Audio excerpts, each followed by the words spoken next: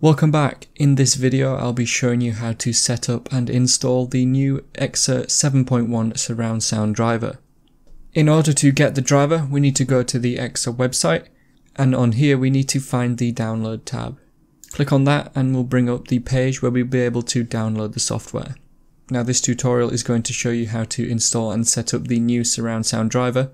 This new version works on the E900 Pro and the AirJoy Pro as well. So for the AirJoy Pro 7.1 surround sound driver, we need to go to this link here. Now if you're unsure about anything on the site, you can use the guide at the top here to tell if you've got one of the older or newer E900s, but for the AirJoy Pro, it's this download button here for this example. Click on the download button and you'll be redirected to another page. You can see on here we've got the surround sound driver.zip file and we need to download it. You can go to the download icon up here in the top if you click on that once, it will say Google Drive can't scan this file for viruses, but you click on download anyway in blue. The download will now start and you can wait for it to complete until we move on. Now you want to find the file that downloaded. As you can see, it's currently a compressed zipped folder. So what we need to do is extract it. To do that, right click on it and select extract all. And then this file destination should be fine. It will be pretty much the same location that it's currently in. And then you need to click on extract to begin the extraction. This might take a few moments, but allow it to complete, and then we can move on. Once the extraction is complete, it should open up a new File Explorer window. In here you need to click on the file, and then go to where it says setup.exe. Double click on that to run it. You'll need to click yes on the user account control screen and then the installation window should open up. On the first page, click next, then click I accept and then next and then finally click install to begin the installation of the driver. If it says please connect the USB gaming headset device, just make sure it is connected and if it is already, try reconnecting it. So once the device is connected, the installation will begin. All you need to do is allow it to install. It may take a few moments, but just leave it and it should complete automatically. You now need to restart your computer for the functions to work properly, so you need to either stop the video now and come back to it, or if you're on another device, then you can just restart your PC now. But in order for the software to work properly, we do need to restart our PC now. On the next screen, you'll get the option if you want to automatically restart, or if you want to save your work first, click on no and then click finish, and then restart your computer before continuing. So now once you have restarted your PC, you should be able to see the desktop icon we've got, you could obviously pin that to the start menu if you wanted to by right clicking on it and selecting pin to start. But if you have restarted, you can double click on it to open it up. The software is called the EKSA Audio Center.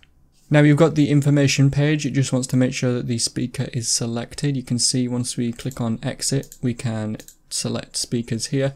So we're on the home page of the EKSA Audio Center. We've got volume control as I mentioned. We can change the master volume here and also change the left and right.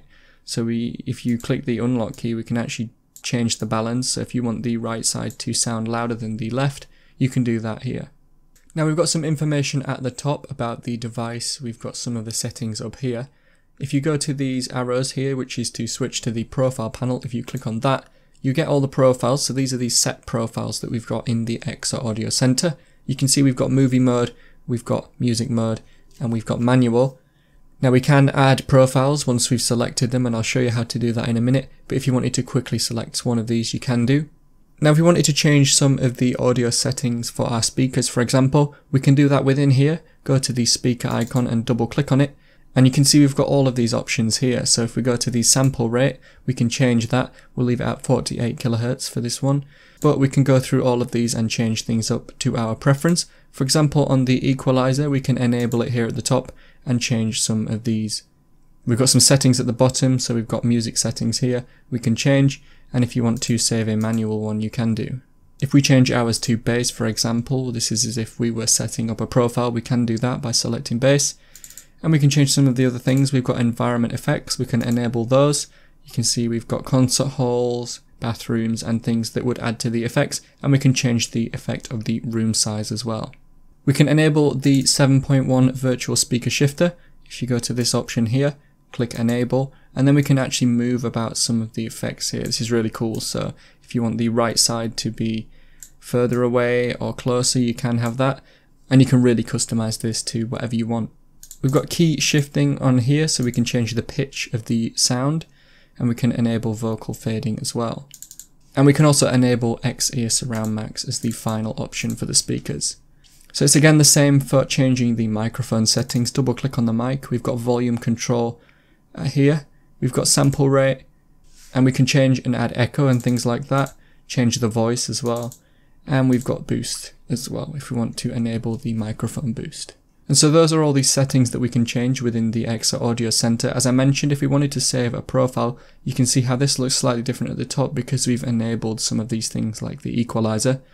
If you go to Profile View by clicking the arrows, and then click on Add Profile. Now as you can see as we've changed some of the settings, we can give our custom profile a name and a description. So if you ever want to go back to this or back to default, you can switch easily without having to change the settings each time.